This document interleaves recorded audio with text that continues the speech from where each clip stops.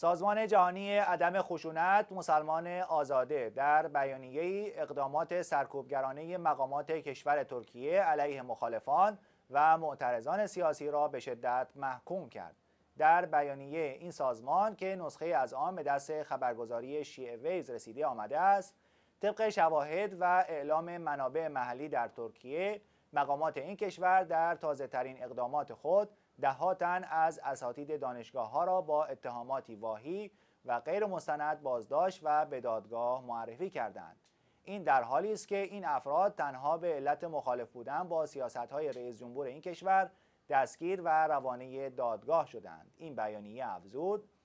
متاسفانه مقامات کشور ترکیه با تبعیض، سرکوب و خفه کردن صدای مردم معترض استبداد خود را گسترش می دهند. ولی این گونه رفتارها تنها اوضاع را وخیمتر می کند و باعث رشد افرادگرایی نیز خواهد شد. مسلمان آزاده در ادامه بیانیه خود از رئیس جمهور ترکیه و مراجع قضایی این کشور که نفوذ مستقیم بر محاکمه بیش از 150 تن از شخصیت سیاسی، دانشگاهی و معترض دارند خواست تا در این موارد تجدید نظر و بازداشت شدگان سیاسی را فوراً آزاد کنند. سازمان جهانی عدم خشونت در پایان بیانیه خود همچنین از مقامات ترکیه خواست تا از افراطیگرایی، نابرابری در حقوق افراد، ارعاب و دخالت‌های سیاسی در امور داخلی برخی کشورها دست بردارند. زیرا تمام این موارد منجر به تخریب زندگی دموکراتیک جامعه ترکیه و از سوی دیگر حد که حرمت همه قوانین اساسی و حقوقی